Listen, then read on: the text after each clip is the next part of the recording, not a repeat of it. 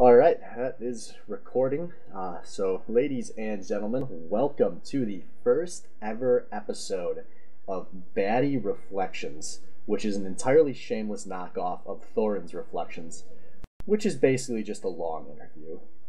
Uh, I'm AJS Zero. You probably know my voice by now if you've been playing in this league for a while. And join here tonight is one of the most iconic players in SBL history, Thrifty Senpai, uh, Thrifty Senpai, formerly known as Who Killed Alice, formerly known as Tim. Tim, how you doing tonight? I'm uh, doing pretty good. How about yourself, Swift? I am doing fantastic. Really excited to start pumping out some of this pre SBL content. So we're gonna dive right into this. Um, since this is gonna be the first one I have posted in this series, um, we're going to be going back quite a bit here. So for those of you that have maybe joined the league in more recent seasons, especially those of you that joined the league in season five and six, where we expanded from four to six teams, uh, you'll hopefully be able to learn a bit about the history of the league and the history of some of these players as I do these various interviews. And I will be going all the way back to the beginning of some of these. Uh, some of these I will even be talking about pre SBL timelines. So we'll kind of get to that as we go. But first, I'd like to start with a few generalized question, more generalized questions here. So, to start with, Tim, I'm going to ask you straight up: Are you the best player in the history of the SBL? Yes or no? I think you could definitely make an argument for it. Um, I think across all the seasons, I am probably not. I think Wes would probably get that title. Um, actually, no. I would say I'm the best. I take that back. I think Wes has had seasons where he has performed like Wes has had more seasons, but I think I've cons- I've consistently performed throughout all the seasons that I have participated in. But I think you could definitely make an argument towards either one of us. So Wes has won the league three of the six seasons. Yeah. You have won one of the five you've played in as a team owner. You've played in two other finals, and then you also won as a drafter, uh, a team that had Master Splinter on it. Yes.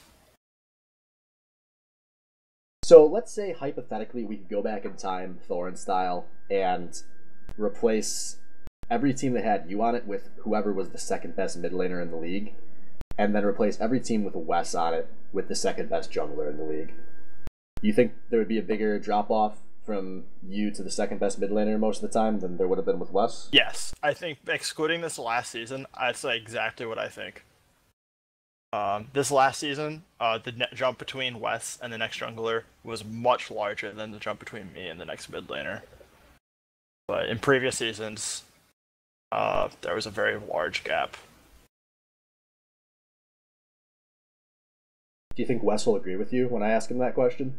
Uh, I think he'll probably disagree with me overall because he's Wes.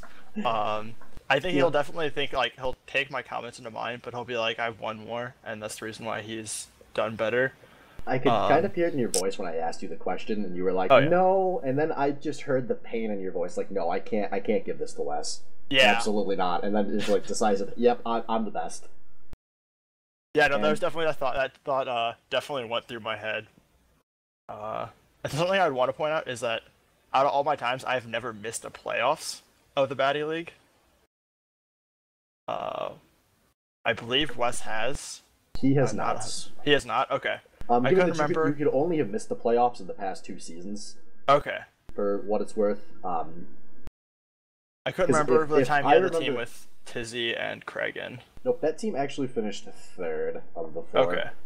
He has never finished dead last, neither have you. Yeah. Okay, never mind. I take that point back then. That's a mistake. So, looking at this as a whole again, um, you've played, like I said, five of the six seasons. The only season you didn't play in was season three due to class, I believe, and drafted the team instead. Uh, yes. Just looking back at it all, because I have kind of an autistic obsession of looking at the legacies of all of us, like we're actual professional players is there any points that you just do you have like one regret that really sticks out one series or one game where you feel like maybe you really blew it when you had a chance to advance or maybe a draft that you just didn't prepare enough for yes definitely Um, when I lost uh, in season two finals at the height of my play. Um, that was uh, a couple months before. That finals ended a few months right before I actually made my run at semi-professional league. So like, that was the best I'd ever been. And during like a Baddy league season, and I messed up in there was times where I messed up the draft. Uh, game five, I didn't pick Zyra at the time when Zyra was, I mean, it still is, but was by far my best champion. Uh, we went to game five, we had Korean blind pick, and I did not pick Zyra. I think that was a massive mistake.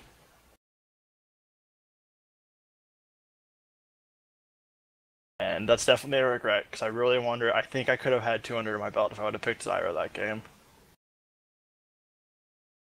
Yeah, that was uh, quite the upset. Um, we'll get into that one a little more in a little more detail later. I had a feeling that was going to be your answer. So, one more general question, since anyone that's followed this league since the start knows you and Wes, Master Splinter, um, by far the two most successful players over the course of this league's history. So, I think a more interesting question is who do you think comes in at number three? Because there is a pretty substantial gap after you two, and I think a lot of different arguments you can make. All right. So when you say number three, is this talking over the course of the entire history of the Baddy League, or just like in individual seasons or current players? You know, what, let's let's break this into two parts. First, Okay. over the course of the history of the entire league, so all six seasons. So someone that's played in four, five, six seasons that you think is just because clearly there's always been i- at an individual skill level a major difference between you and Wes and any other player in this league. But there's definitely a lot of players that are very good at stepping up and pre-made in this league that have done a lot to maybe bridge that skill gap in you know all the other stages of the game. Okay. Um, I'm trying to think back to some of those uh previous seasons. Uh, the, uh for the all-time, that's really tough. Uh, we've had some people who've been around for a long time that have performed consistently very well. Uh, Salvo, Tree, 30, those have all been very like highly sought after players like right afterwards. Uh, we even had some people that came in for just a little bit. Uh, I'm sure as obsessed with storylines, Zara, you're familiar with the bestest one, where he was in for all of two seasons and did very well in both the seasons he was in. He played Um, on three seasons, by the way. Did he? Yep, two through four. Oh, that's right. He was in one I drafted. That's right. I just remembered that Yeah. playing in like two seasons with him. He a- played very well. He's a Uh, very he played good at a player for level. those of you that did not remember him. Microphone Yeah, muted. he played at a very high level. Um,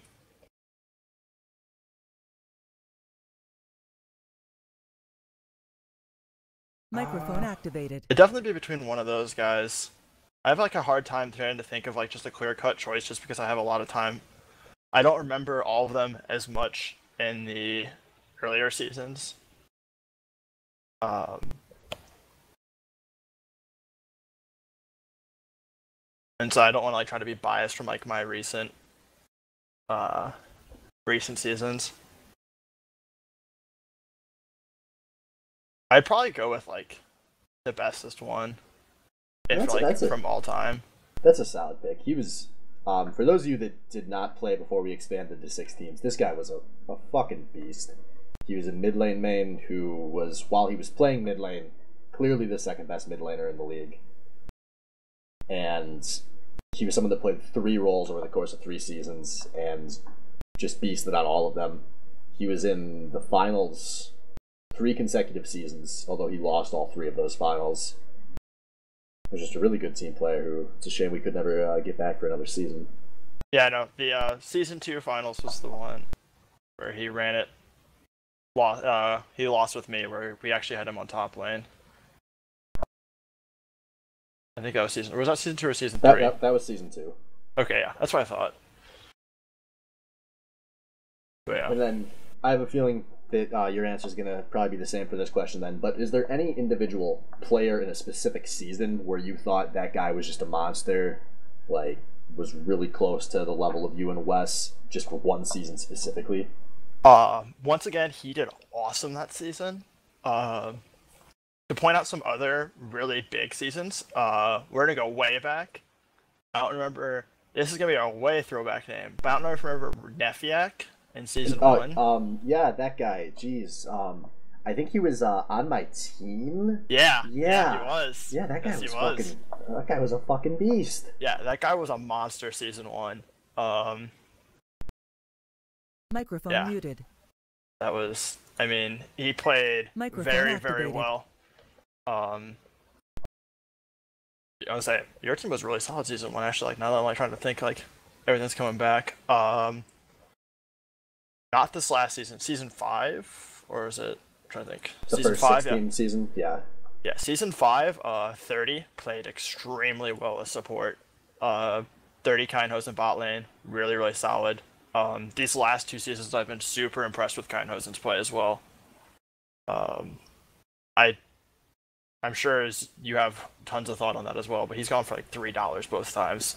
Yeah, Actually, he went for a, qu- like a quarter one It time. was, a, it was a quarter in this most recent season because he hadn't played all off season. Yeah. Most of the league had been playing a ton, and everyone assumed there'd be a drop off. And Yeah. the second he had a chance to step in, everyone realized he hadn't fallen off at all. Yeah, And uh, he's quitting while he's on top because he's not going to be able to play this coming season. that is a shame because he was he's been a gigantic shame. monster these last two seasons. Uh, won both of them that he was in. I, I, believe. but no, he's he just- second ones. Yeah, second and first were his two Yeah. finishes, and I think he just wants to fly under the radar. So if he comes back in season eight, he can go for like fifty cents.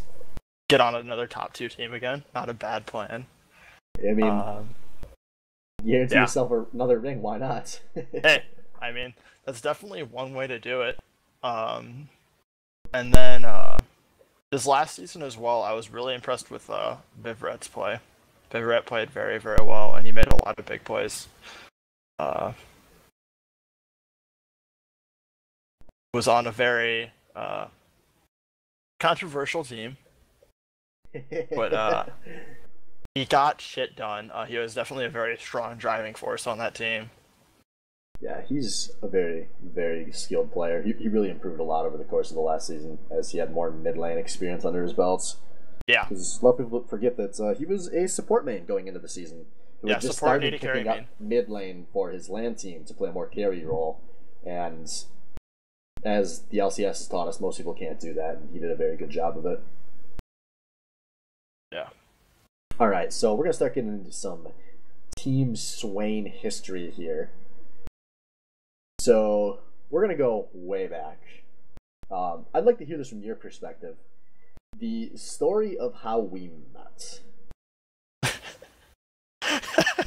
because I feel like there's a lot of people that probably never heard this one or only heard bits and pieces of it, and it's really something that at the time no one could have realized just how ridiculous of a situation was occurring.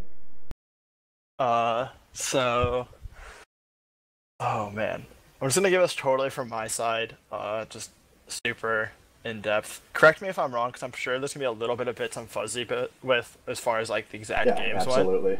Uh, but I remember the actual situation really well. So this is uh, you know, summer summertime in between college, working a school job. Uh, had a couple had the glorious Team Perdoodle put together. Uh, we weren't actually Team Perdoodle at the time. We were just a group of people who like we play a lot of league together. Um, and you know, had a couple of them over at my place over the weekend, and we are just jamming some normal draft fives that like just recently came out, and uh, we get paired against these guys, and they're just like super shatty in the beginning of the game, and we're like, these guys are fucking hilarious. All right, what the hell? And we're like, also these guys are assholes. Let's beat them. Um, and I proceeded to get my ass stomped because I literally just bought Kennen, first time ever and uh, I'm against Marias. Never played this Kennen before. I'm like trying to like read a guide and just get destroyed. Was like, oh god, this is brutal. And so at this point, I'm like, this game is. I'm trying to like just save some sanity, and like they start dropping their stream name and everything. So I just like pull up their stream and I start like typing to them back and forth, just like, fuck it, I'm gonna have some fun with this game because I'm getting ass pounded. Uh, and then I was like, all right, that was a game and everything. So, whatever, gets done.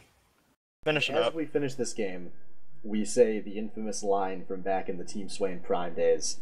Like Team Swain on Facebook, line break, facebook.com slash Team Swain. That is true. Yeah. So, whatever. That all happens. Get in another normal draft game. Run into these guys again. And she's like, what the hell? Uh, this time the game was a lot better of a game. But uh, I think you guys also won that one. Yes, we did. Yeah. Um, and then was that it for the night, or did we do a custom right after that? Nope. Uh, what happened was we beat you again, Yeah. and then about 'Cause no, six we- hours later, you played us. this was a double IP weekend. Yeah. So a lot of people, one of the first times Ryan had ever done a double IP weekend. Yeah. And so we were trying to grind out a ton of IP, just playing pre-made and winning all weekend. And about six hours later, we played you guys again. Yeah. And we recognized the name Perdoodle because we dubbed you guys Team Perdoodle because we thought he had a funny sounding name. And as we got in the game, you guys recognized us. We recognized you right away. You said something about, "Oh my God, it's always Team Swain," Yeah, that was Raquette that said that. I remember that. and then we pounded you guys again. Yeah. I remember we got you real bad in the custom when we actually played our regular roles. We got and you back. then two weeks later, Yep. we were playing one night, Team Swain with like a sub or two, and we see you guys in a loading screen. Someone on our team goes, "Holy shit, that's that's them again!" And we recognized you, and you recognized us, and we got into that game. And immediately, we knew this was something that was meant to be. We started adding each other as friends, and Yep. three and a half years later, Yeah. here we are. Yeah, so add each other. We like add each other as friends on that. Went to you know like we did a custom game immediately afterwards. Uh, got some games in, and then it was like just dicked around. We like we actually liked the Team Swain Facebook page. Uh, I don't even remember what else, but it was like the most like ridiculously small odds that we like ran into you guys so many times. We are like, what the hell? Okay, this is ridiculous. And then I mean, we like play league occasionally with you guys, but it wasn't like anything crazy. It was like just joke. And then you had the uh the first time like we really got like involved with you guys. The was when you- second annual Team Swain Get on Our Level one versus one solo mid invitational. Yep. which, despite being the second annual, was the third Team Swain one versus one tournaments. And uh, this was a pretty glorious event. Um, we That was a good event. this was uh, so this was the third one v one we'd won one once a semester. So this is a year after we'd run our very first tournaments, and because we'd met who killed Alice and company, who were all relatively solid players back in an era when you, you didn't have diamond friends, you didn't have platinum friends. Those guys were fucking gods if you happened to meet them. When you met, I mean, even fellow silver players, that was a pretty impressive accomplishment. You kept track of these guys, and we were really excited to add five or six you, I want to say, to this tournament and really increase the skill level. And uh, going into this tournament, I uh, put out weekly power rankings. And uh, for those of you that have never done a 1v1 tournament, it's the rules were you either take the second tower, get first blood to win. And uh, there's been a few, most 1v1 tournaments are a little faster to end now than they were back in the day because it was possible for games to really drag on, but it was a decent test of skill. So going into this tournament, it was a best of three the whole way, double elimination tournaments. And at the start of the tournament, I started putting out weekly power rankings. Who killed Alice? Guess where you were on the very first power rankings I ever put out for this. Um, Um, for what it's worth, you were a gold player at the time. Yeah. There were no players above gold in this tournament. yeah. Well, also just to throw something else back for people who, because there are people who have not played League since season one, season two. Uh, bronze was top twenty five percent of players season one, so that's equivalent to like gold now. Bronze season one, and then season two, gold was still the top like 15 20 percent of players. So, I mean, it was like you mean bronze was the top 15 or 20% or silver was? or no, maybe I can't remember. Bronze was the two, top. Season one, bronze was the top 25%. Yeah, Season silver was top ten, gold was top five, and then there was only plat, and that was like one percent. Like gold and plat players were insane season one, and then I don't remember exactly the percentages for season two. Gold But- was still fairly rare, and then Yeah. obviously you could just be. Uh, it wasn't unrated because you hadn't you had an actual elo number, but you Yeah. didn't have a color to go with it. Yeah. Um, that's right. That was the last season you had unranked. But uh, if I remember right, There were 32 think I players was in this sixth. tournament. I think I was sixth. I remember, no, I was fifth. I think because you put me and Perdoodle, and you put Perdoodle behind me because you said the odds of naming the team after the best player were statistically impossible. Close. You were But- seventh. On I was the seventh. Pre-week one power rankings behind the powerhouse names of AJS Zero, Yeah. Marias, Zedekiss, Mikaro, Ramanas, and My Wang. That's right. Which of those is the most I last? was like, I remember Perdoodle was right behind me. And Perdoodle was an eighth.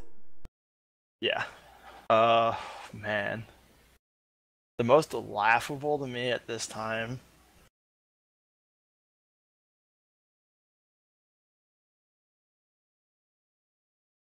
Oh. That's tough. I remember I remember being like, I've been said this is bullshit, whatever. Um Probably Zed, because like Zed was already like done with League of Legends at that point. Zed, you think Zed was done at that point? No, He was still, he was still Yeah. fairly solid at that point in time. Yeah. I don't know, man. The Wang one's pretty bad, and the Mikaro one's pretty bad. Let me let me take a look at who these guys were knocked out by. Um, because Zed was knocked out in the losers bracket. He's knocked out a winners But- bracket by me and losers bracket by Tree in this tournament. Okay. I believe this was the tournament where Wang had some really embarrassing losses. Yeah, no, Wang was like really no, no. Like looking at the tournament, I was thought you were talking about like with people now, but no, looking at how the tournament went, Wang was like a real bad one to have up that high, if I remember right. Wang lost to Shadlin and Rikente.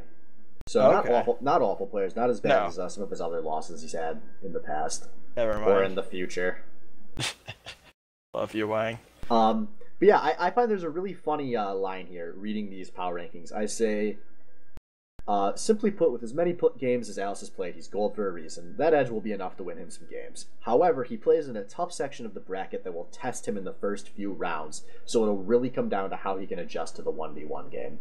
Um, the tough competition you played in your first few rounds, there was Cruise Master, who you 2 out in the first rounds, Mikaro, who you 2 out in the second rounds, Jimbo the Kid, who knocked out Perdoodle. oh my God, Jimbo the man. Jimbo the Man, that. who you 2 out in the third rounds. Yep. And then me, who you 2 out in the fourth rounds. No, I two one you. I two would you in the Or sorry, finals. yes, you, you, two, you two won me. I, I had the bracket up and I didn't even read the number. Um, and I find it really funny because in these week three power rankings, I was at one and you were at two. And all I wrote about myself was when I'm 6 0 writing up the week four power rankings, there won't have to be any more discussion about this. That was, that was really a high point in my rivalry with you, you know. I, I took a game from you 1v1. That was pretty good. It was the first one too of the three. I don't remember what I played, but I, I You won. played Malzahar. Ah, good old Mouse. He's, he's won me a lot of 1v1 games over Yeah. the years. I remember because I beat you with Bruisers game two and three. Yeah, I, I comment about the Bruisers in the next week of the power rankings and how dirty they are. Yeah. so yeah, you like I said, you, you then go on to beat Horizon 2-0 in winners finals and you 2-0 me in grand finals. So one game dropped in the entire tournament. Decent for a gold player, I would say. It felt good. Felt really good. All right, so we're gonna move on to season one of what was at the time called the BCL. I may interchangeably use BCL and SBL tonight, so those are the same thing. I just changed the name in season five.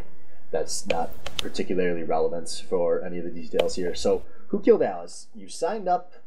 This would have been the middle of season three, shortly before the ranking system was updated to what it currently is from the ELO system.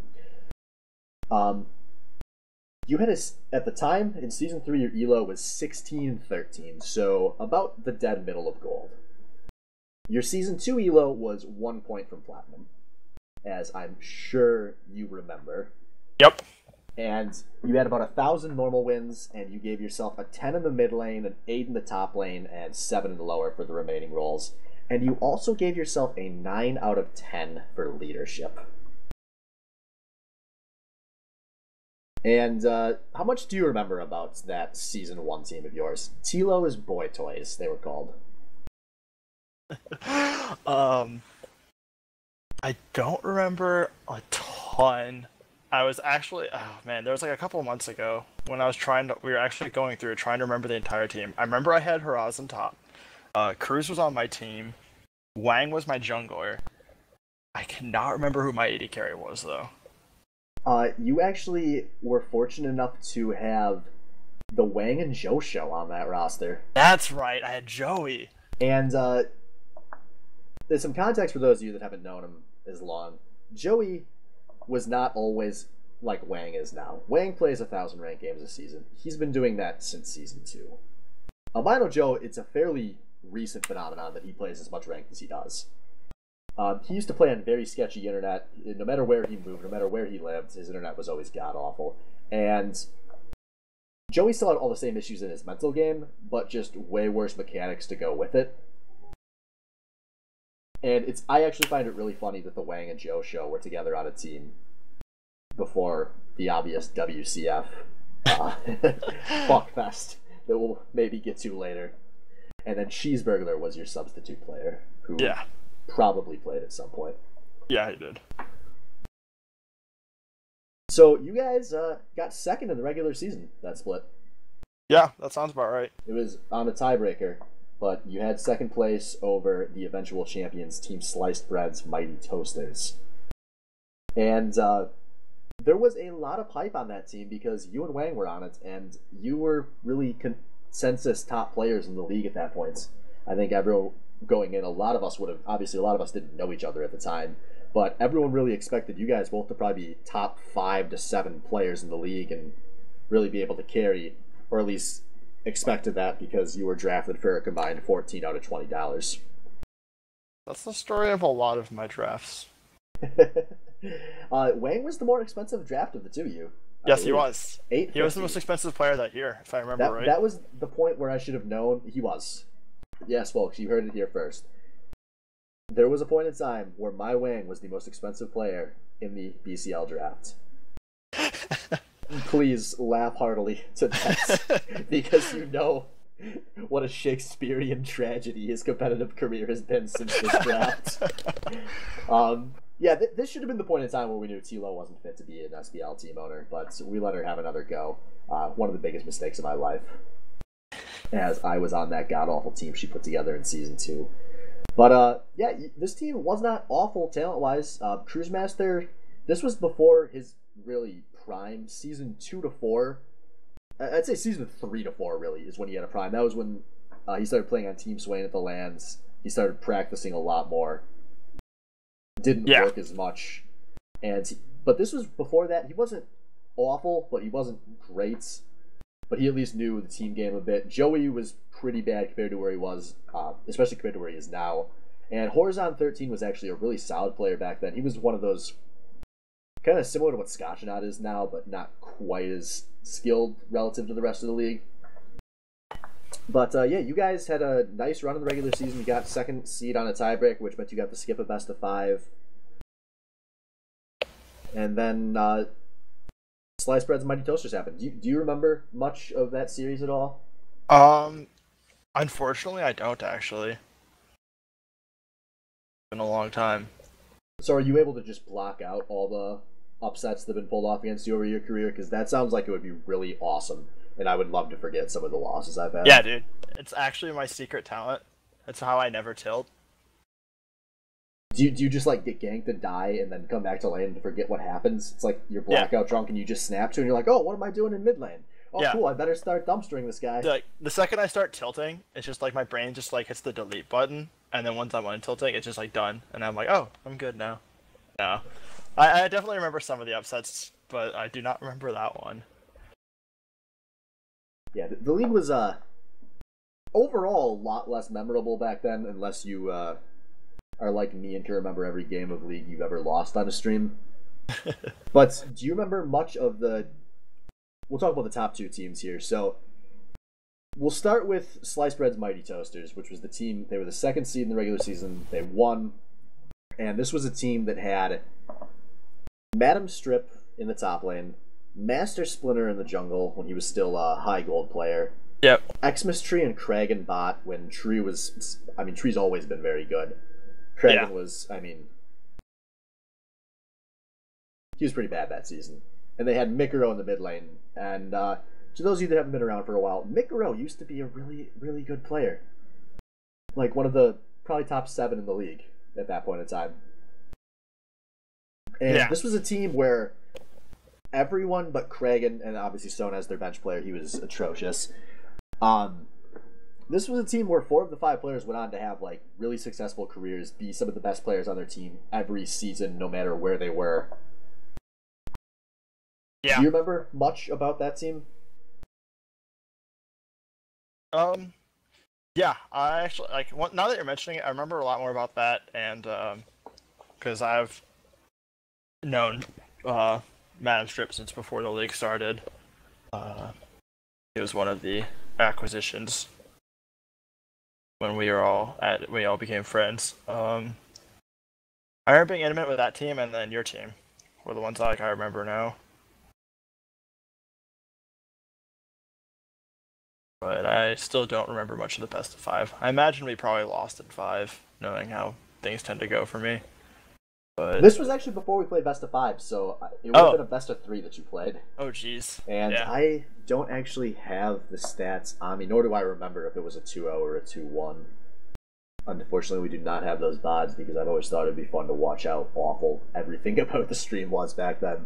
oh man, Yeah, th- there was a point going into that season I'll always remember because Madam Strip was just a general rookie. I, he wasn't super high rated. He had been 1600 elo in season two. He was 1500 in season three, so he would have been just shy of gold at the time.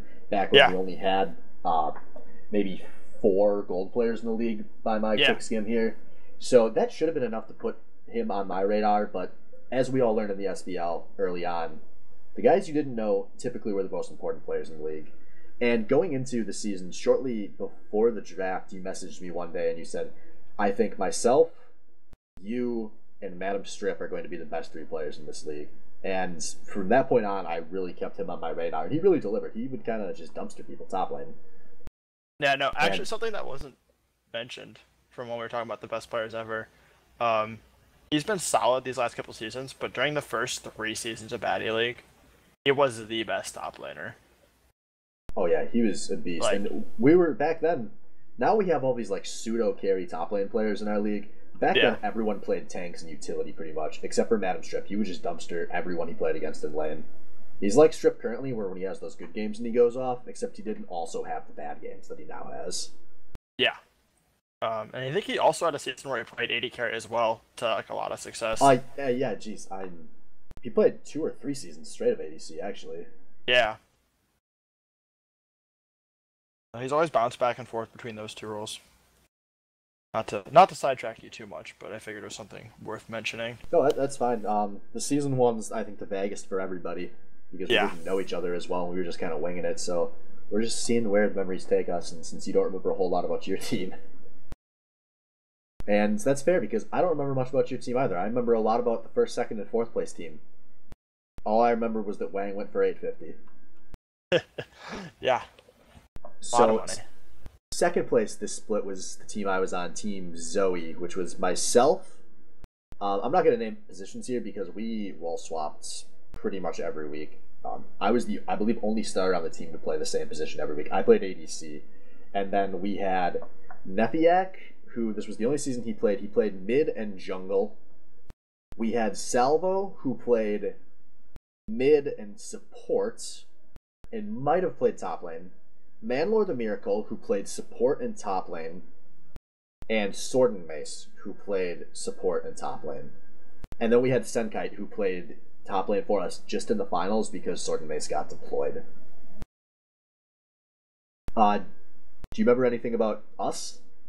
And Yeah. Obviously, yeah, you were talking up Nefiak earlier, and this guy was really incredible because think of how bad people are at communication in League of Legends right now and how in the SBL communication wins games.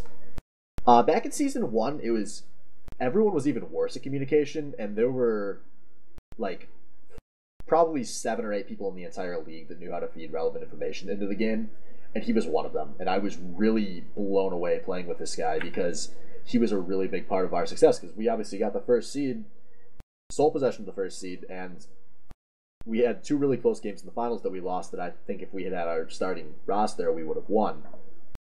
And he was a huge part of it. Yeah. Um, for people who didn't know, he was also part of the school League of Legends team that I had that saw a lot of success when we were together. Um, and he was always in a very helpful like second voice for shot calling. Like he'd always he would do a lot of our early game shot calling for us while I was still in laning phase, and then I would take over afterwards, and it worked a lot for our team. Yeah, I really love playing with this guy. Um, he's also had some great insight playing against Alice because he obviously played with him with the school team, and I'll never forget the one week where he was like, "Guys, let me play mid. We'll put I think we put Sword and Mace in the jungle." And he's like, Sword and Mace, you're gonna just camp mid. You're gonna come here. You're gonna like do this camp, this camp, and come to mid. I'm gonna play Annie, and he never respects the early gank. I'm literally gonna just flash on top of him and stun him, and then you're gonna Jarvan in and knock him off. He's gonna die, and we're gonna just rinse and repeat that every time he comes back to lane. He's gonna just completely feed me, and Nefiak completely hard carried that game. He's 100 percent right. Yep, I do remember that game. And yeah, this guy was uh this guy was really good. And this shame he could only play one season. Yeah, no, it was a really shame. He was um one of the best players that season. Uh, I think like like he was definitely top three, top five player for sure. Uh, it would have been really interesting to see if he would have stuck around more, but unfortunately he left towards the end of season two. Uh, he quit playing League. So, but just how it goes sometimes. Yeah, it's life. Life for losers. Yep. And remember, if you're a quitter, you're as bad as a loser. So I think that's going to do it for season one here, since we don't have a whole lot about your team specifically to talk about. We're going to move on to season two, where there's obviously a lot more to talk about, as uh, you got a lot better during this season. Yes. So as of the signups for season two, you signed up as a Diamond 3 player. At that point in time, Master Splinter was a lowly Platinum 3 player. And after that, we had a, let's see, Salvo and Gold 2. Yeah, Salvo and Gold 2 is the third highest rated player. So Diamond 3, you were um, you're pretty far ahead of everybody that season. And like you said, this was shortly before you made your semi-pro debut. Yeah. Uh, why, why don't we go into that a bit for people that maybe have never heard that story? Because I'll never forget the day you logged on to TeamSpeak and you dropped a pretty infamous line. We're just right there. it was you pretty much just logged on to TeamSpeak and you're like, Yeah. "Hey guys, I'm a part of Team Coast now." Yeah. Yeah. Um, we had uh, so at the time, once I hit uh, Diamond One, I actually started looking around at teams. Um, I real at that point in time, this is before Masters ever existed, and Challenger was only 50 players. So Diamond One was the real fucking deal at the time. Uh, and so at that point, once I got into it, I started looking around, and Coast was actually trying to create a B and C team. Uh, about part of the way through the season, uh, they had the tryouts.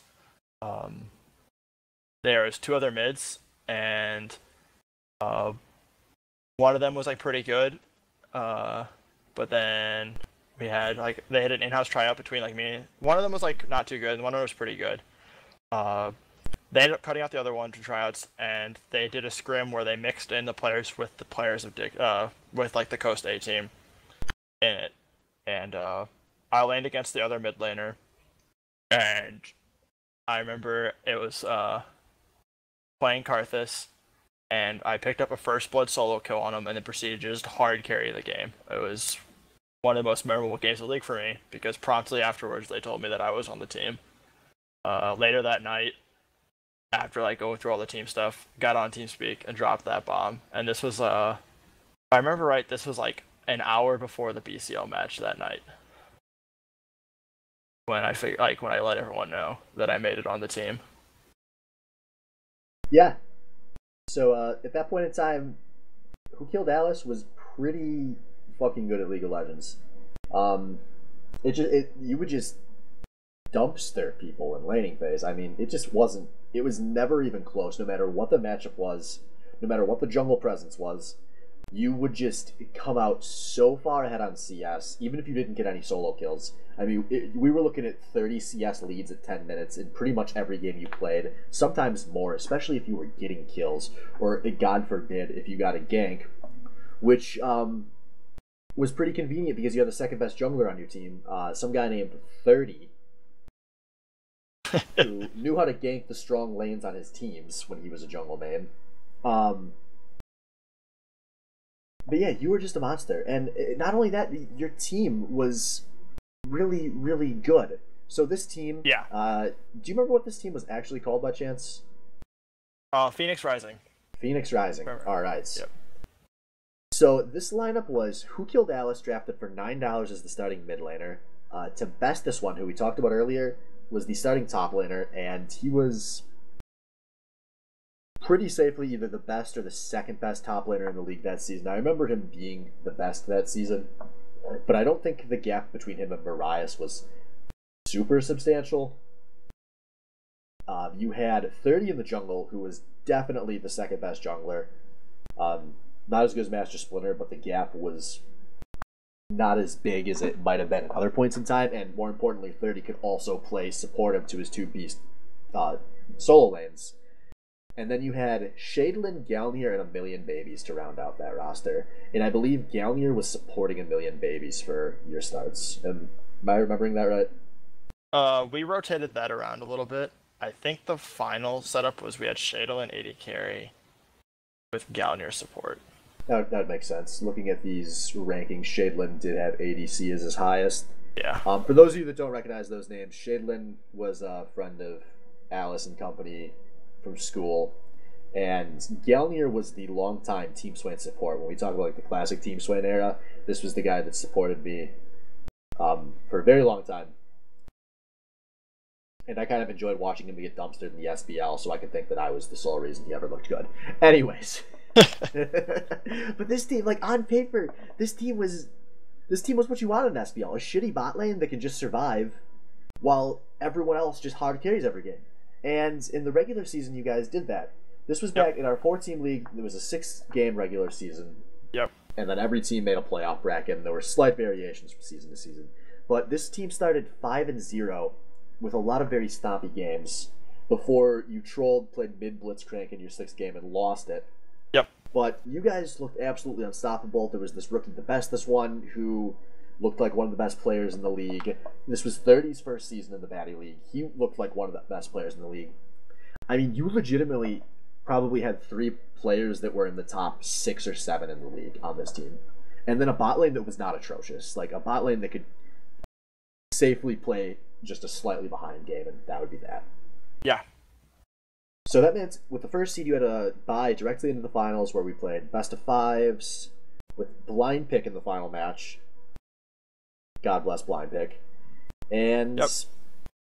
you guys played against the third seed from the regular season, which was some team with Mikaro and Madam Strip, Perdoodle, Think Twice, Albino Joe, and Sword and Mace. Yep. And uh, And this was an incredible series uh, as a spectator. Full five games, a lot of back and forth, a lot of excitement in the draft. Obviously, we had a blind pick in game five, which is the most hype thing to ever exist in League of Legends. And the team that looked completely unstoppable. I mean, I was saying things like if you guys even drop a game in the finals, this would be a good series compared to what we'd expect. And obviously, you dropped two more than that. What do you remember in this series? Oh, Do you, do you need like a shot or something real fast? I know no, no. Final it's choke good. jobs can be pretty tough to talk about. Um, tilt. I remember tilt. I thought you always forget tilt. My tilt. It was the game five. The amount of nerves everyone, ha- some of the people had on the game, like our bot lane, was just so done by game at game five. Yeah, I remember Shadelin. Uh, his he he was kind of a tilter. He had struggles Oh, yeah. holding up, and uh, this is something a lot of people don't realize. Even people that have played in the modern SBL, there is it's if you go to very late game in a pre-made game, it's very difficult.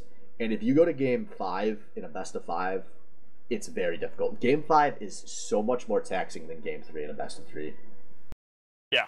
because Um, you especially back this was in season three there were you know still some fairly long games being played this is if you're talking game five it's probably been about four hours since you started the series and it can be really hard to hold up under all the pressure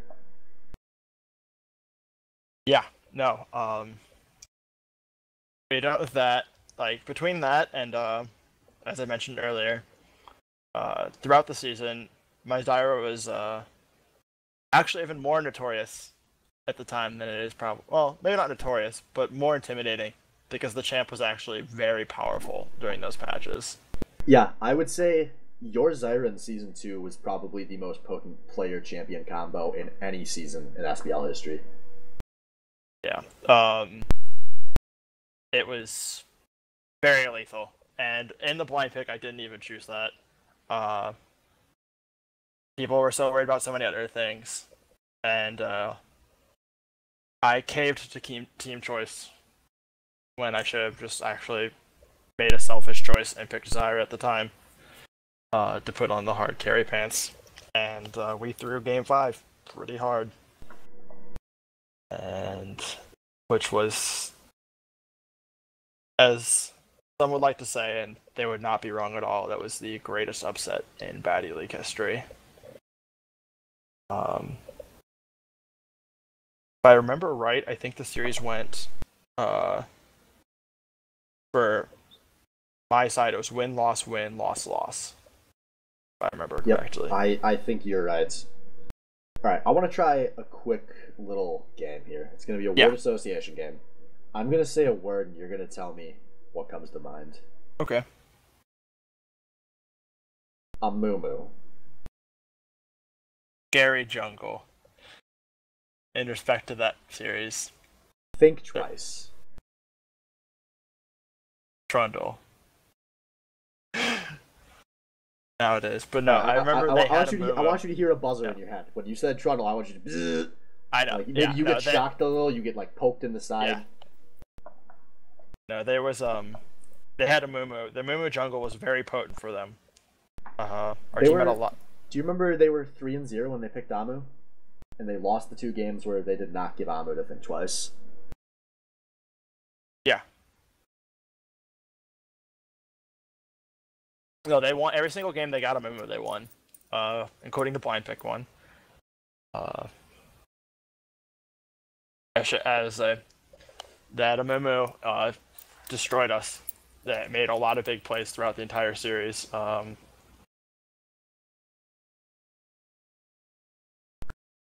Yeah, this is really the series in particular. When I always I reference this a lot in my power rankings and when I Yeah. cast, and I talk about how at the Baddy League, so much of the time is more defined by which role players step up than which star players carry. Because Think Twice was somewhere between mediocre and bad at this split, and Amu was still a fairly meta pick at the time, especially among less skilled junglers. And it kind of just turned into this pick where this team, uh, Slice Bread's Mighty Toasters, I believe, yeah.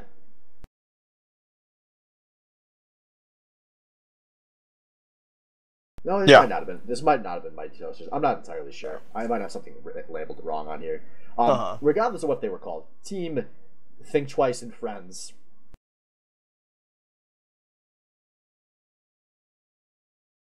yeah, They would, uh, they, they just knew think twice he could just do what his team needed he could not die early in the jungle scale up to level 6 and they could just start team fighting and he could press r and this was he wasn't even like outstanding in the series or anything. It was just a case where the team found a champion that synergized really well with probably their weakest starting player. And they were able to win games. And that's just always such an important thing because a lot of the time you only need to find that one champ that you can have somebody be effective on. And a lot of the time teams won't realize that's something that needs to be banned until it's too late, as we saw in that series. Well, we realized, but unfortunately, blind pick struck. Um, yeah, no, that Mumu was a very big problem. Actually, I think it might have been win, loss, loss, win, loss, is what happened, perhaps. I know we won game one, but yeah, no, that game was that was a series. That Amumu was the big reason why. Yeah, I felt like that was really a day where I kind of took a next step as a caster because once you've done a full best of five, that you actually get emotionally invested in, there's really no turning back from that. So, any closing thoughts on season two, and maybe any lasting memories of your team um, or is it just kind of a we were really good, except on the finals day? Uh, we were really good with the finals day. That was actually a really I really enjoyed playing with that team. Um, I really enjoyed playing games at that time. Uh, that was like we said earlier. That was my peak as a player, um, as far as badly concerned.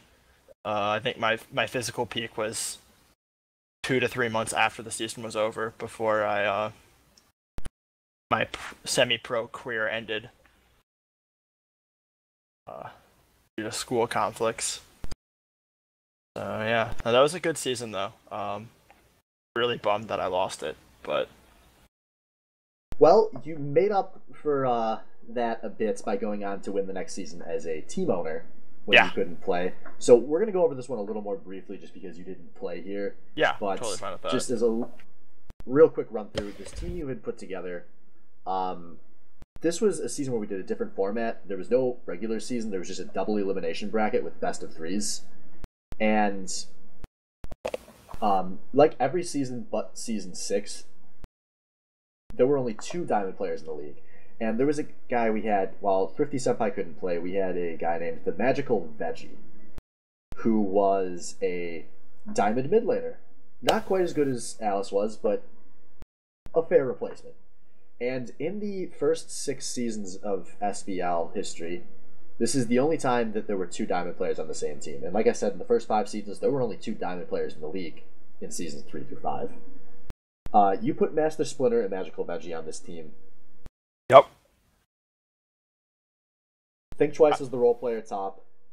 Albino Joe and Powerful Omega is the bot lane, with Dan's Only Girl as the bench player, who went on to be known as Swift's only girl, Gaius fracking Bolter, Garen fracking Bolter, AJS zero, John Gruden. There's probably a name or two in there I'm forgetting. He was he was really really bad at this point in time. He improved a bit before he became a starter. Yeah. Do you remember much about drafting that team? Like, did you have a strategy in mind, or did, yeah. did the cards just fall your way? no, I remember actually players? going into the draft, and this is like early seasons, and I remember just looking at like the previous drafts and realizing that these people had no fucking clue how to draft. Um, and I went in and I actually like I aggressively raised other people and made them pay more, and then I'd back down and they'd get people for paying more than they were worth, and then I just spent big bucks to get the two best players in the league, and then I just got decent role fillers that I was happy with for the rest of the team. Like everyone was just so like content. I remember like looking at the previous drafts and like thinking about this. Like people were just so content to let a person go for cheap. Whereas like, oh, this player is like he's a dollar player. Someone puts fifty cents on him, and someone's like, oh, well, I don't know if I really want him, so I'm not gonna bid seventy five cents. No, you bid fucking seventy five cents, and you make someone else pay a dollar for him. The less money other people had, like people like just didn't bid aggressively or try to raise people much. They'd only bid on people like if they were really interested a lot of times, or someone was going worth way less. Yeah, the draft game has gotten a bit better since those days. Yeah. No, but I remember going into it like with a clean strategy to like aggressively raise people all the time, even if I wasn't interested in players, and it worked out very well. I remember leaving the draft very happy. Yeah, this team was uh, very solid. Um, hopefully, in some of the other reflections interviews I'm planning to put out, I'll get to talk to some of the players that actually played in season three. Um, as you can probably guess, I'm probably going to interview at least one of the players from this roster, although I will not review who. Although this roster was the Magical Veggie, Powerful Omega, Albino Joe, Think Twice, Zach Fritz, and uh, Master Splinter. Um, anyway, so we're gonna head on to season four here, which I actually think is, as far as the Baddy League is concerned, was your finest hour. Um, this was the t- season where instead of just drafting a winning team, you actually decided to win the whole tournament uh, for the first time as a player. And unlike in season three, where your team was pretty stacked by the standards of what the teams were at the time, this team was not that great in most senses of the word. So the roster you guys had was yourself, a million babies, purple pickle pie, devout milk on the wind, and Manlord the miracle. Yep, and I remember this at, team. At this point in time, um, this was Purple Pickle Pie's first season in the league. He played ADC for you guys. He was very good this season. Um, not the best ADC in the league, but at a point where I was kind of at my peak skill level. Madam Strip was still playing ADC, if I remember correctly. Uh, no, actually, this was the season Madam Strip did not play. Um, but I was playing ADC, obviously. Salvo was playing at a fairly high level, and Purple Pickle Pie was pretty on par with us at that point in time, which was a really good thing for a rookie player. But besides Yeah. that, you had Albino Joe supporting him. This was when, or, I'm sorry, you had a million babies supporting him. Who Yeah. you know you always knew what you were going to get with babies. He was never going to be incredible, but he was never going to be bad. And then you had Devout Milk and On the Winds, who at this point in time were pretty awful. Um, on the Winds would just lose every lane he played to some degree, pretty much. Devout Milk had no idea what he was doing, ever. Um, these are two guys that improved a ton after this season. And uh, you guys won it all. Fairly Yeah. convincingly. You went 5 and 1 in the regular season, 3 and 0 in the championship. And were pretty clearly the best team as a whole over the course of the season. And given that this was a bit more recent, you probably remember this a bit more clearly. How the hell did that team work? Like I still Uh, look at I still look at this roster. I don't know how this team wasn't one of the bottom two teams in the league. So, uh, one thing that uh, some people would always joke about uh, from a while ago was that uh, I can't remember who it was. It might have been you. Was that the joke that I played StarCraft? Yep, that I uh, I believe I perpetuated that Okay. idea. Yeah. Um, and this was at a point where this was still I wasn't at my mechanical peak, but I was still like really sharp on my game at this point. This is before season five and six, where I did not play as much, and I have kind of stepped away from the game. Uh, at this time, uh, I remember I was still like the best mid by quite a good margin. And the thing that worked really well with our team was that everybody listened. Um, and everybody was really open to like criticism and like listening, like opinion. So it worked out really well because I would give I gave them criticism like during our like practice games and they would like actively try and improve on that. And then in our actual games, people we just acted as one unit was like the biggest thing from our team. I remember this. Like if we said go, we went in. If we said back out, if we said kite this out till this tower, then turn around immediately, we did that. Uh, the team acted like as a single unit, and everyone followed up on calls really, really well for a Baddy League team. Uh, so we played as one really solid unit, and that was that was by far like our biggest strength of that team.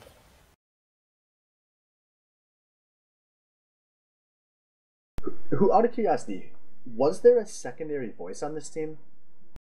Uh, not terribly at the time. From how I remember it, this was really before On the Wind's a really good communicator now. Like exactly what you want, not as a shot caller, but as a communicator from top lane, feeds all the right information and knows how to use the information he's given. But back then, he wasn't much of one. and none of those other guys have ever really been big time communicators. I mean, w- was this team really just you playing StarCraft around the map and punking on teams? Uh, they gave me really good info, but yeah, no. Um, it worked really well because they'd give me updates to what was going on, and then I just tell them what like I was like, okay. So he's like, yeah, he's doing this and this and this. I'm like, all right, they're jungler might gank, play passive, or hey, go ahead and shove the wave out. We're gonna try to prevent it from teleporting when we make the play for dragon. And people would, you know, take the advice from that and go from there. Uh, people, there was times when people would give me like general comments, were like, hey, we should do this, or like, hey, this guy's caught out, and like they would do that. It wasn't like I was like controlling every single action, but I would not say there was very much of a secondary voice in that team. So, as this is a season that's a bit fresher in memory, do you remember much about the rest of the league? Um, or uh, if I remember right, this was the season that uh, it was the Craig and Tizzy bot lane with Master Splinter. yep. Uh, How can yep. anyone ever forget that that team? that was Do you, that do was you remember playing that team at all? Obviously, the Kragan and Tizzy bot lane, bless their souls, has kind of become the golden standard for a bad lane pair in the SBL. Um, I don't actually remember playing them like distinctly. I like, I kind of like remember like the season, like the teams and like how we felt going up against everyone, but uh, I don't remember like playing playing them specifically. I'm sure I like, probably ended up doing something where I roamed down a bunch just to add insult to injury. So our fourth place team that split was drafted by Zed. It was King, Salvo, and Tree with Mikaro, Boozgraf, and Senkais. That was Udir's ultimate the retirement home, basically. Yeah, Um, th- there wasn't really much to remember there. Salvo played top lane most of the time with King and Tree bots. This team just kind of sucked. I don't think anyone on that team could shot call. uh huh. And then the team you played in the finals, which was a 3-0 stomp.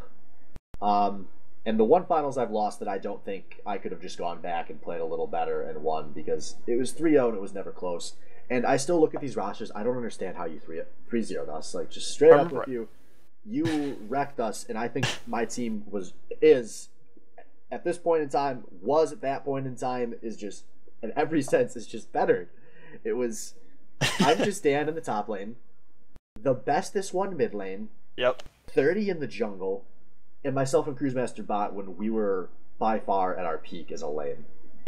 I do remember that. I think Cruz was substantially better than a million babies at that point in time. I think I was slightly better than Purple Pickle Pie at that time. 30 was a mile ahead of Devout Malk. Dan was a mile ahead in the top lane. And bestest one wasn't that. I mean, he was behind you, but not substantially. And y- you embarrassed us. Like, I, this to, to me should have been one of the most stacked rosters ever, but we didn't. It's not like it's not even like we won the regular season. Then we're just upset in the finals. Like you guys coasted to a nice five and one season. Do you even remember anything about those grand finals? um, Uh, for context, Yeah. not we didn't even stream the entire finals. Uh, Yeah. There was server issues multiple weeks in a row and Twitch issues, and we ended up actually streaming parts of the series, but not holding games up for the stream on Oddshot.tv. Yep, and it was just a I fucking mess, and it's kind of like the forgotten finals in SBL history because it was so just anticlimactic. But, but Yeah, do you no. remember anything about those games? Uh, I remember I remember the whole dilemma and everything because I remember looking up Oddshot and telling uh showing someone how to stream with Oddshot before the series. We were one of the Um, biggest streams on Oddshot while we were active. Yeah. we were Yeah, like we top were. 50 on Top the entire 50. site. We were kind of a big deal. It was an SBL peak. We should have stuck with Oddshot. It was a sign. Um. No, but uh. No, I remember the finals. Like after the first game, I was like, I felt good, felt good, and then like after that, I was just like, after we like won the first game, I just remember like, all right, cool, let's just keep doing this. This is gonna work just fine. Like I remember, like there was not much stress going into the finals of that series. is that is that all you remember in the finals? That's honestly all I remember the finals. do, do you remember, remember- game three when we tilted so hard we tried role swapping? Oh my god, I forgot about that. we that. baited you in. I, I played Renekton. This was when I was just starting to pick up top lane, and my Renekton Yes. was getting pretty known. We put Dan in 30 bot lane because this is when 30 was just picking up supports.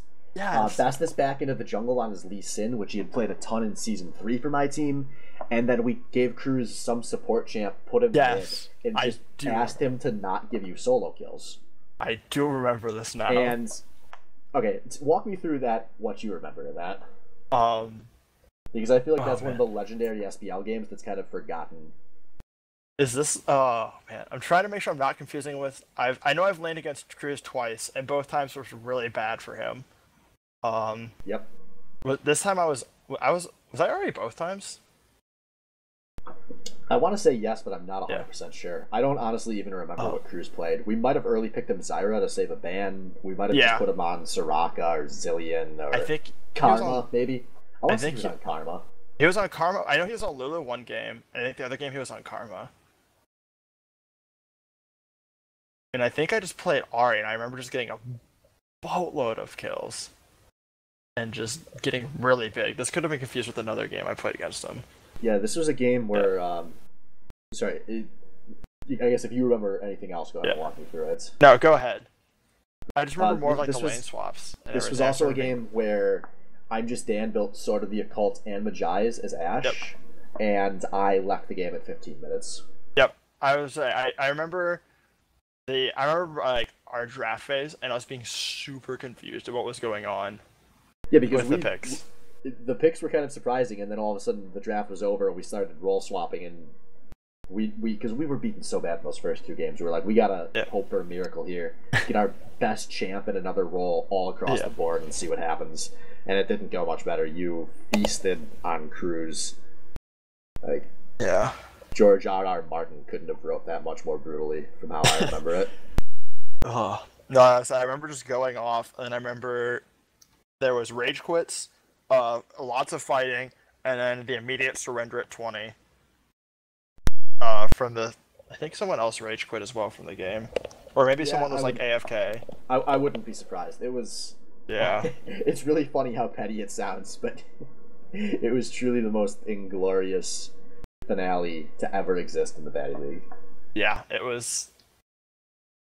There was some anger on the uh, other side. So, yeah, but pretty incredible season from you. I mean, to me, this was, as far as an individual player in a season, one of the best individual player seasons we've ever seen in any of the six splits. Um, was you this split because you, you had to be on point to win games, and your team won a lot of them. I'll Say, um, do you happen to recall who our loss in the regular season was? I'm pretty sure it was to your team. It, it was to my team. Yeah. We took a game from you. I want to say this was the week one game where we played without 30. I, Because actually, I think that's right. In the very first week of the season, 30 was traveling for some reason. He just couldn't play week one. And we had to play, uh, or week one and week two. And we had to play. We also had somebody else on our team missing. So we had to play Ramanas and an emergency sub. And I remember we played Ramanas in the jungle over 30, who was a platinum player. Ramanas was a silver player who was only good at playing Yorick and a few other champs in 1v1 tournaments. And we styled on whoever we, played in one the first week. And I, I think this was the season where my shit talking was probably at its peak because just to me on this roster, there was no way we could lose. And then we won with fucking Ramanas subbing in for 30. I, I thought the season was literally over after week one. And we proceeded to drop our first game when 30 came back. And uh, realized we were in for a much tougher time than we expected.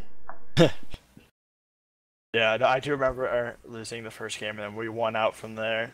Yeah, one out, three out in the finals. Uh, just, yeah, you were, you were all right. I was And you had a little extra. I'll So- take it. We'll move on to some happier times now. Season five, you didn't win as many games. Yeah, season five was a. It was a season. So let me just pull up this roster really fast. I have way graph. too many files. I can I can fill you in on this one.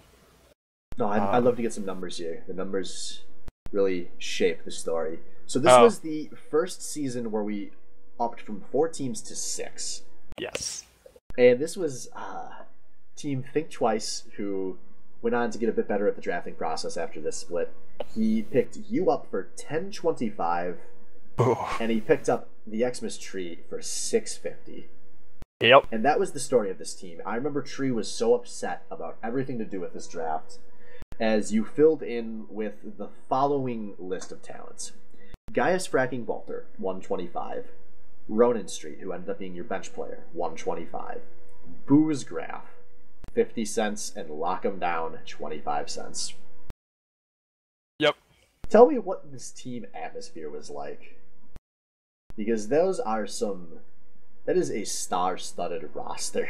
I mean, Booze Graph, Lock 'em Down, Gaius, th- those guys all. They tilt.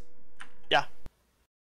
So um the best way to describe the atmosphere in this team was a roller coaster. It had um I was along for the ride and everyone else just kind of took me where they wanted to go. Uh we our team had some unbelievable tilt problems. Um it was just a terrible chain. There's I can remember multiple games where what would end up happening is like someone would do something dumb, like either Bruce got first blooded or like Kevin made a mistake and then he starts tilting and then someone else tells him like to stop tilting and that just doesn't work and then someone else makes a mistake and then Tree's getting pissed because everyone else is making a mistake and then everyone's pissed and I'm just sitting here like just watching the world burn like oh god why what the hell just happened in the last five minutes And my favorite part about this was this was the season where your skills had declined pretty substantially compared to where you were at, where season two and season four.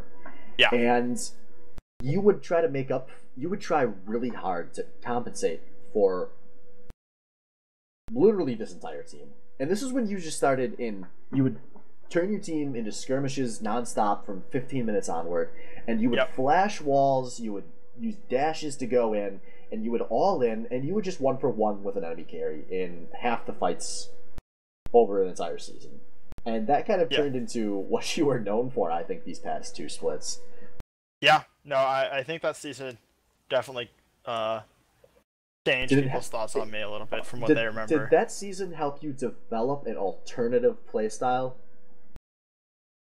yes. Can we, can we put it like that? yeah, no. It, um, uh, uh, I don't remember. We did not finish last. We did make the playoffs, but uh, we got in fourth.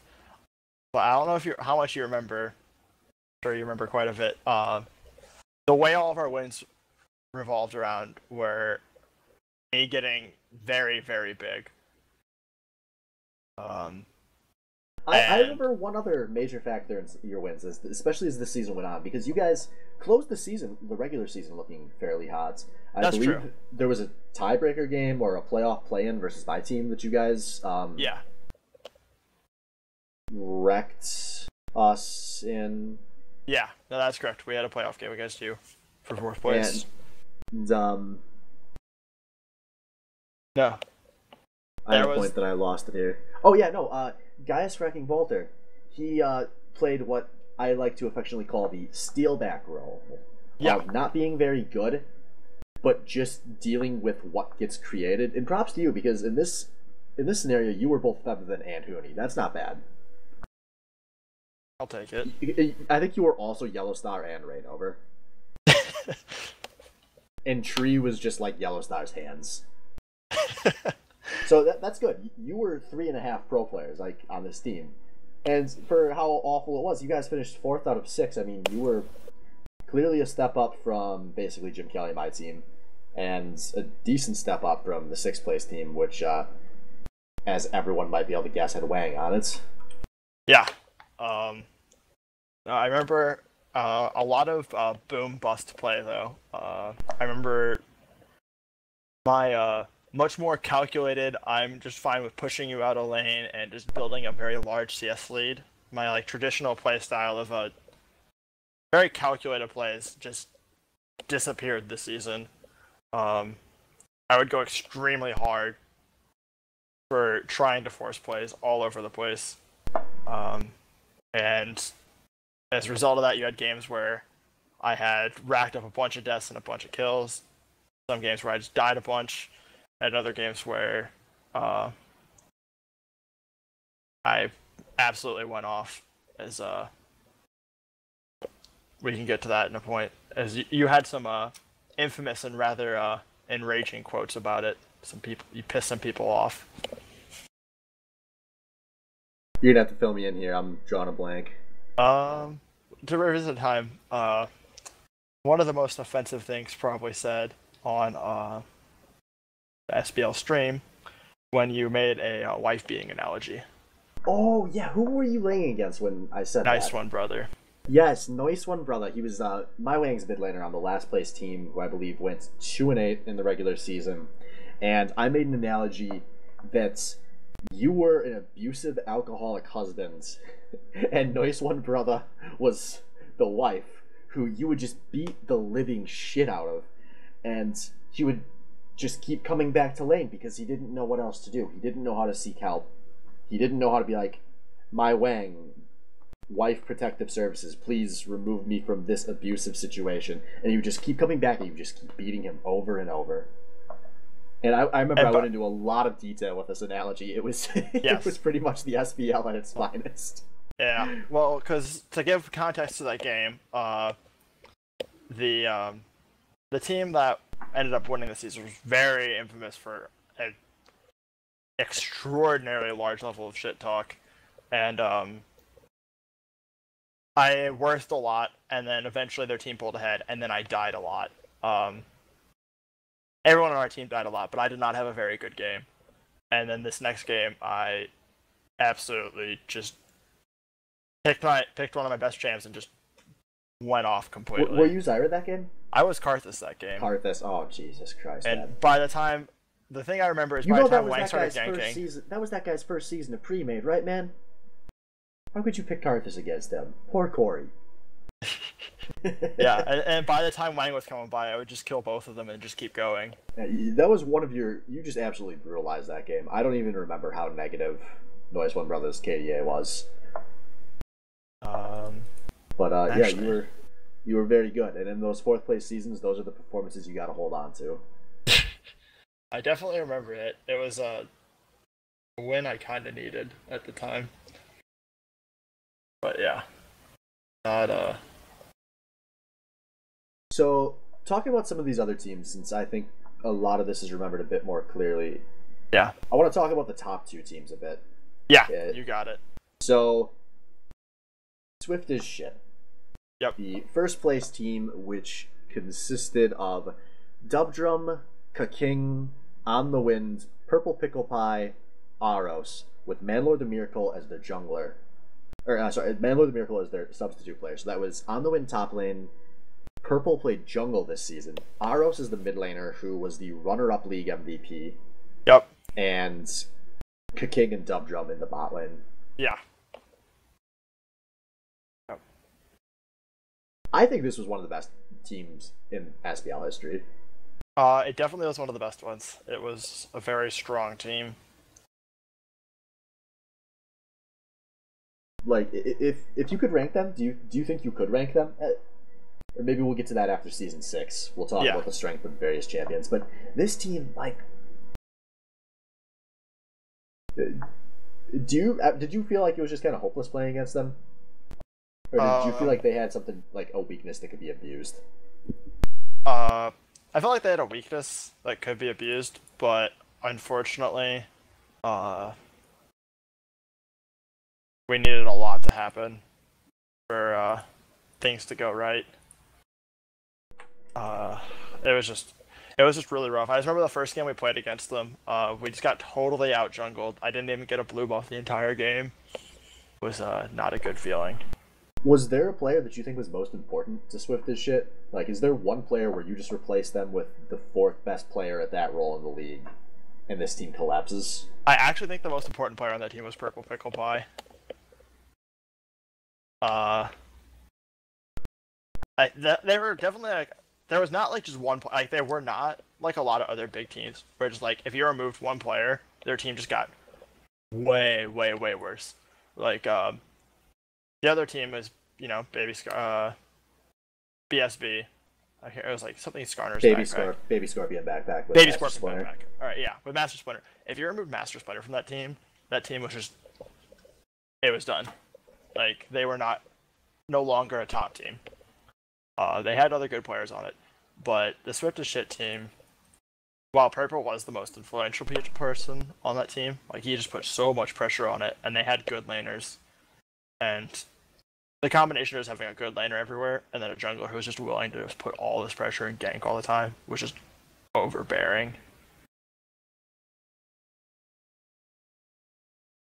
Yeah, I actually agree. I, I think Purple probably was the most important player on that team, even though obviously Aros got the runner-up MVP. Yeah, That's how it goes, playing the carry roles. yeah. But uh, Uh, Purple Aros had really, some really big games. Do not get me wrong; he played very, very well. but Purple was definitely the kind of the catalyst that that team revolved around. Yeah, he got them going, and he put a lot of pressure on the map. All right, and then the other team that played in the championship, which was a five-game series, uh, crazy enough, Yeah. Was a team called Team Flashlights that had Death God Nero in the top lane, Feed Me Your Nuts in the mid lane.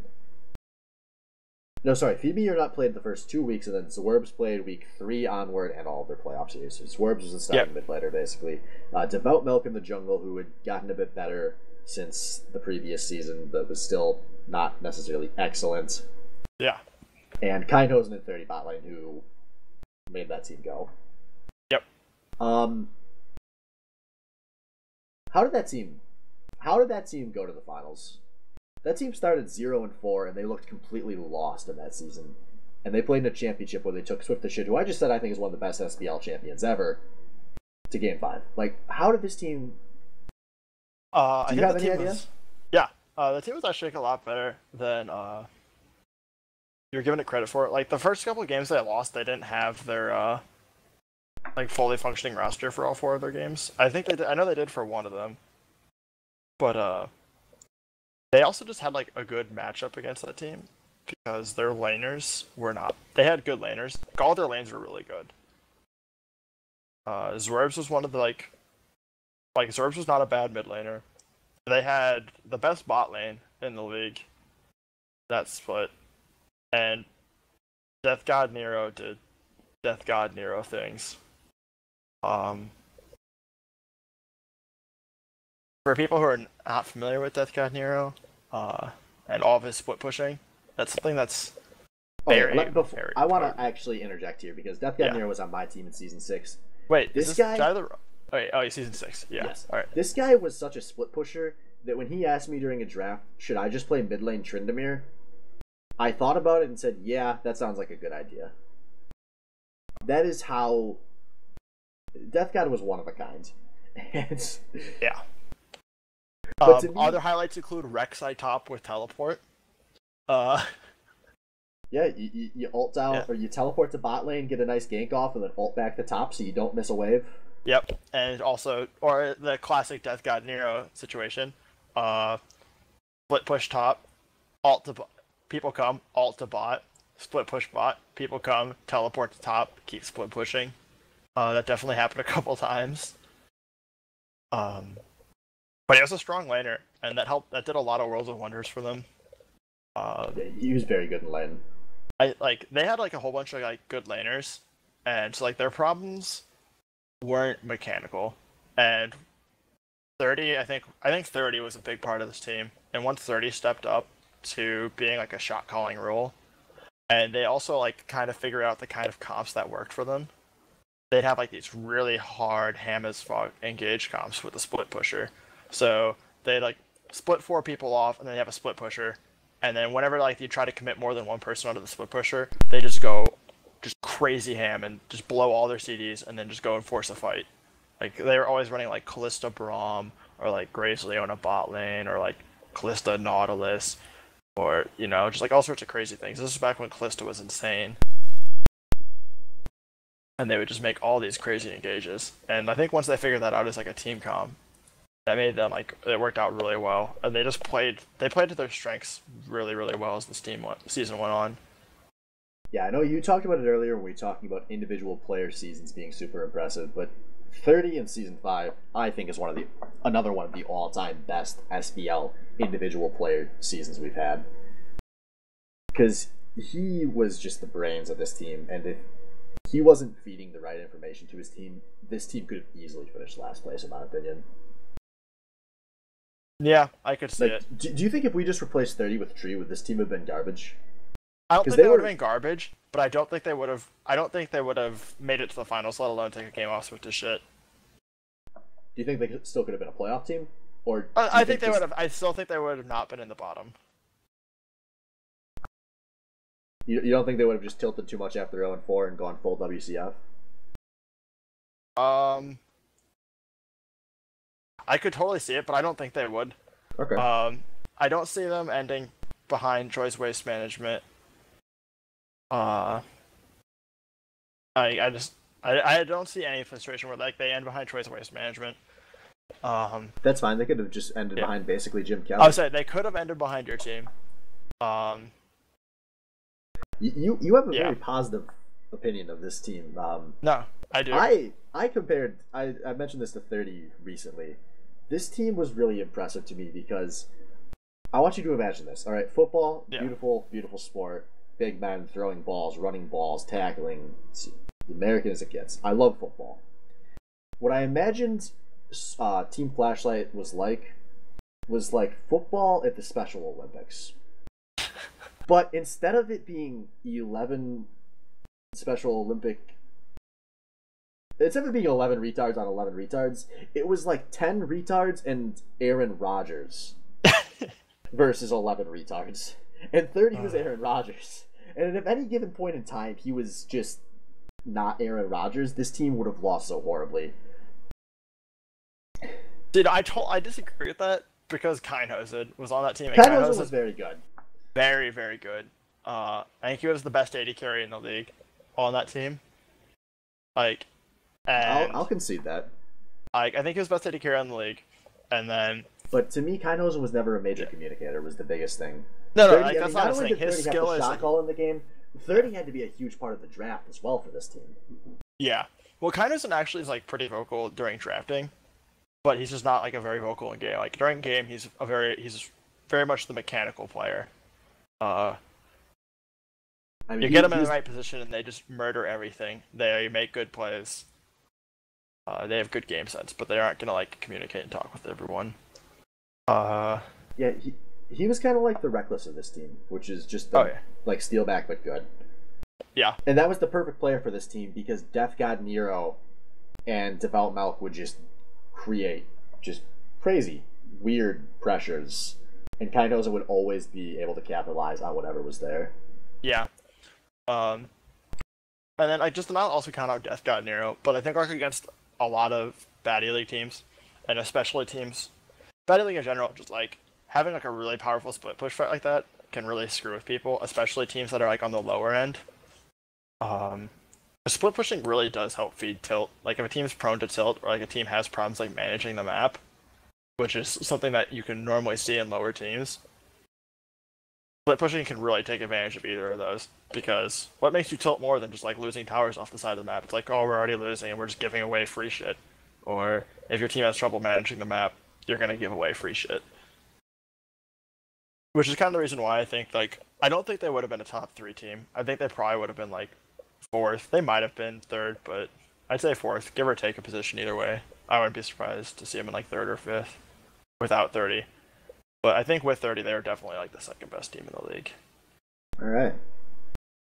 30 was like the key component for that team. I don't think any other support any other player in the support role would have made that work probably. All right, so that leaves us with one season remaining. Season six, the most recent season. Uh, odds are, if you're listening to this, you played in the season or watched the season. All right, so season six, the second split with six teams. You were, as always, the star player of a roster called Thomas the Dank Engine.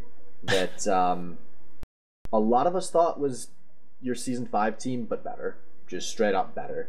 And uh, it went a little better. You made it to the finals, second place. You went one to three in those finals when you played against what was probably the best SBL team ever.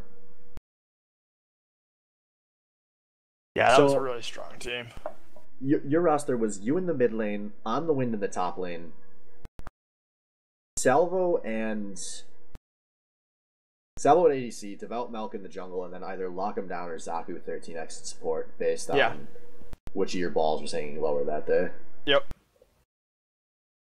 If this, if you just could have transplanted this team into like any other season of the SBL, would you guys have won? Uh, Did, did it take just something as dominant as Team Salt Shaker to stop you guys?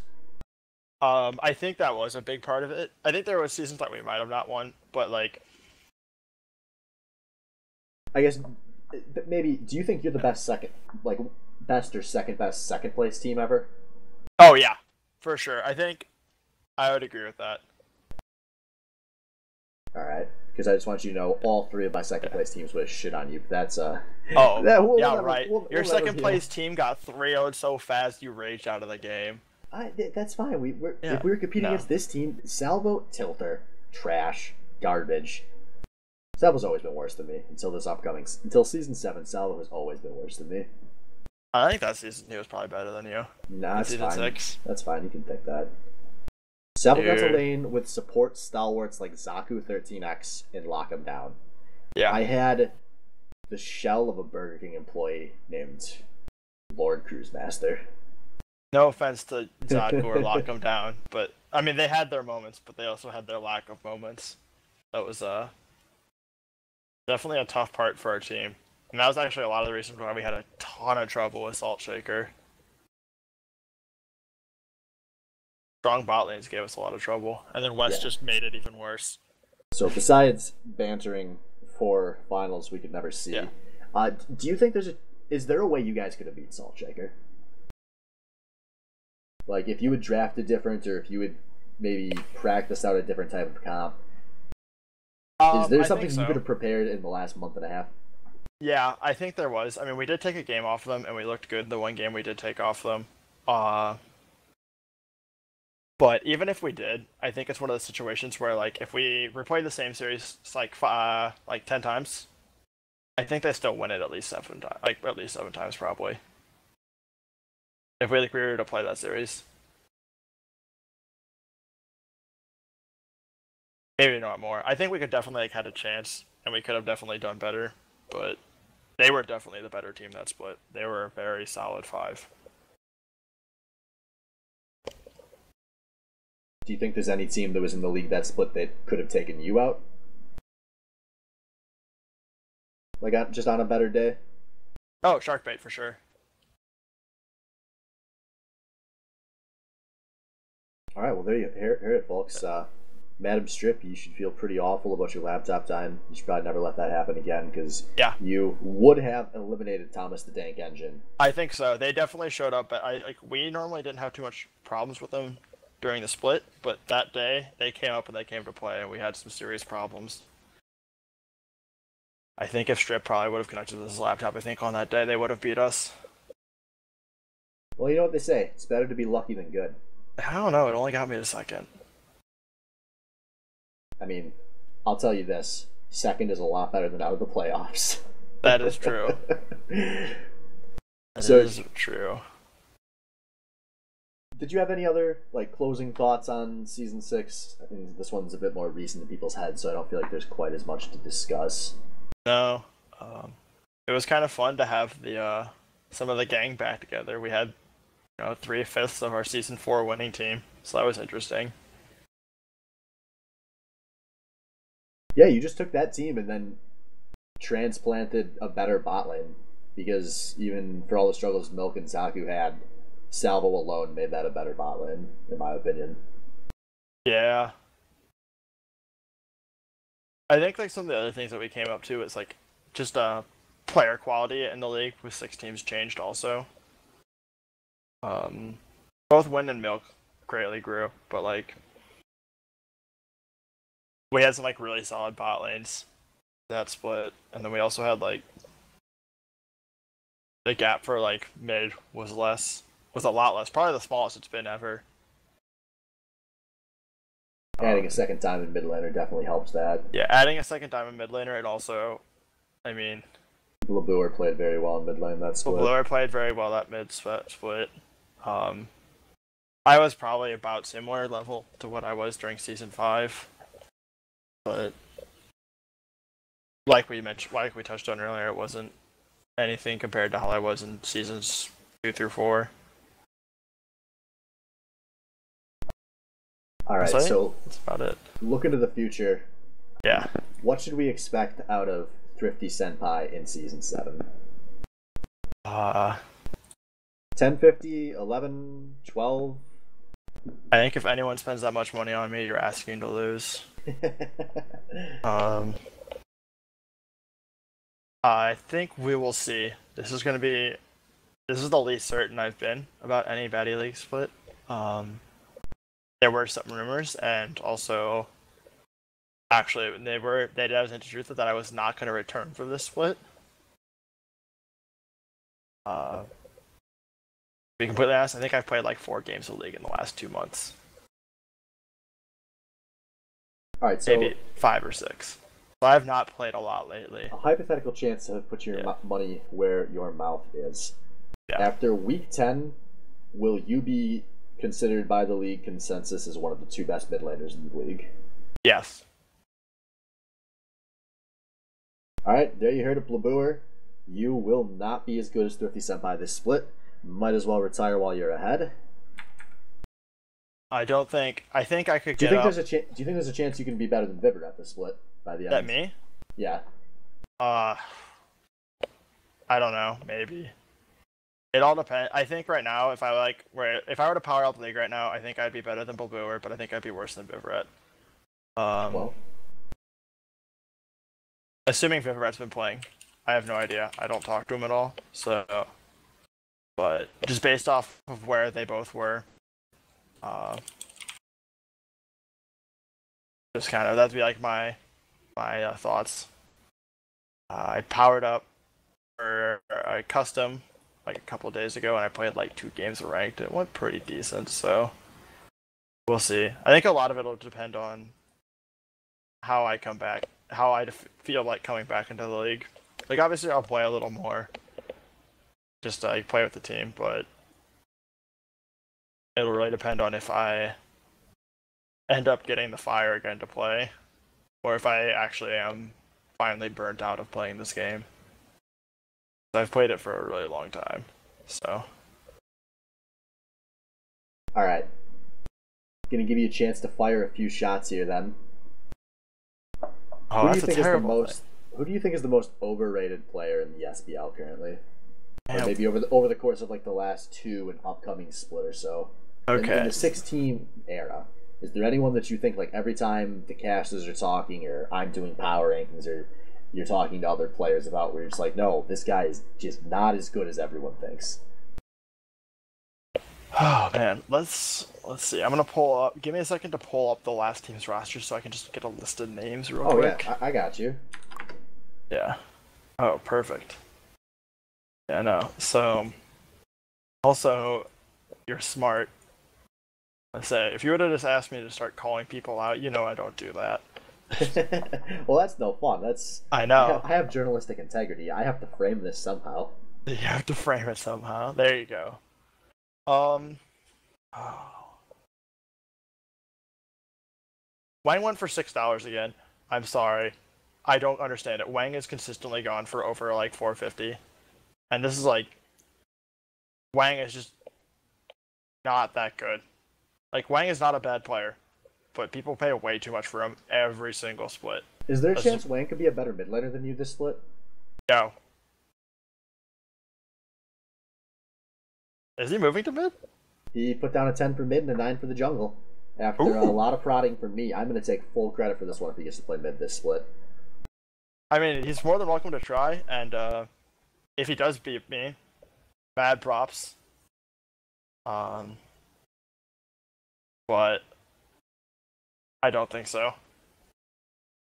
Um,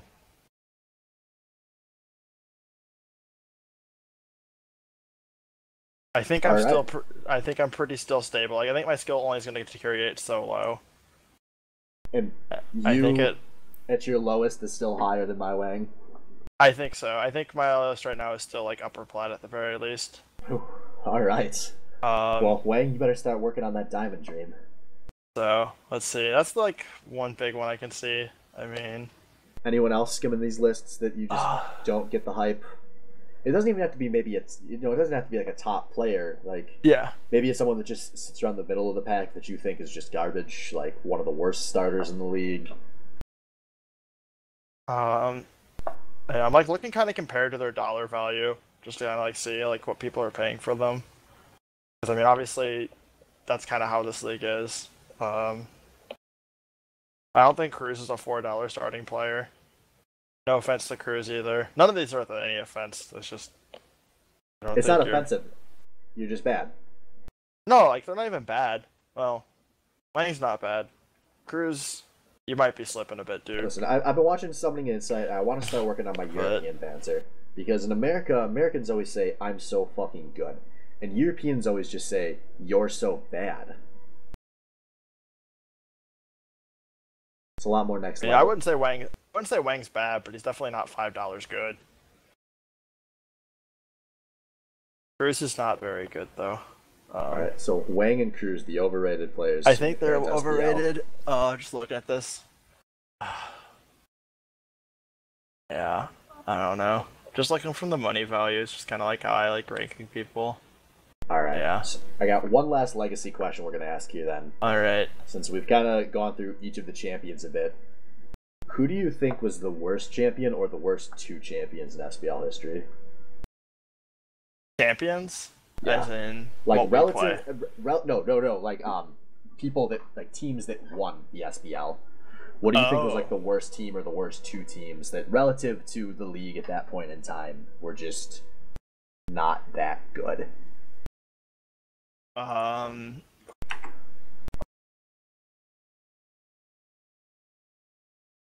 Uh.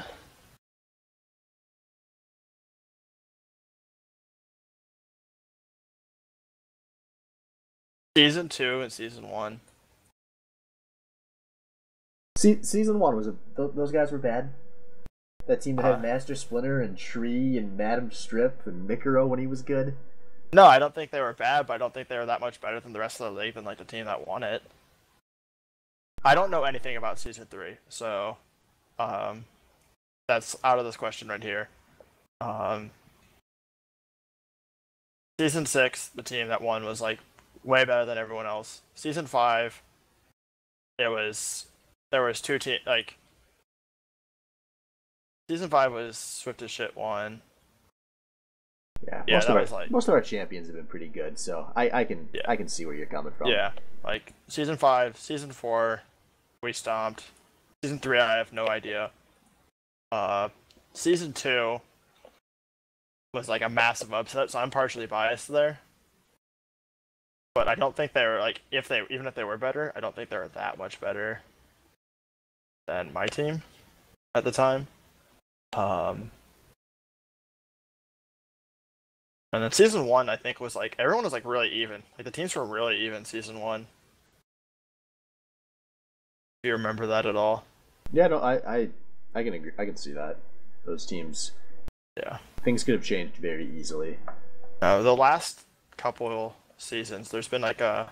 By the way, like time there's a halfway point. There's a team that is like. There's always one team that's just everyone has their sights set on as Well, the team in- to be watching for. In season five, that team was Baby Scorpion Backpack, who was five and zero, and after starting seven and zero, they went one and two over their last three, and Oh, then that's- lost pretty embarrassingly. I think 3-0 Yeah. to Flashlights. Yeah, that's right. I totally forgot that. How could you forget about Master Splinter's epic collapse? Oh don't dude. If I ever interview him, I'll make sure to go into a lot of detail on that one. Uh, that is right. That was the season I actually did like all the stats and everything. Oh. Um. Yeah. Season five was really close. Like just based off the teams, like Swift and shit versus Flashlight. Because like Flashlight even lost to Fountain Milk in the finals. Actually, I forgot about that. Yeah, game five. Yeah. They had to play with Craig into the jungle. That was uh, You know. one of those all-time questions. Yeah, I'm gonna go with season five. It's like thinking about this more. My uh, final answer will be season five and season two. All right. Well, there we go. Swift as shit. Not that great. I mean, they Just still like won the we always Baddy knew. League. And you know what they say? It's better to be the king of the bads than just bad. Uh, if I were witty, I would have stopped recording right there. yep, But I would really like to awkwardly ramble on a bit longer. that's fine.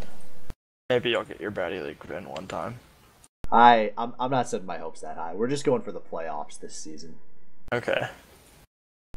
So uh, to anyone that listened through all of this, um, I hope you were like at work while you did this because this would be a great thing to get paid to do. And if you didn't get paid to listen to this, you must really love the Baddy League as much as I do. And I hope you keep loving the Baddy League.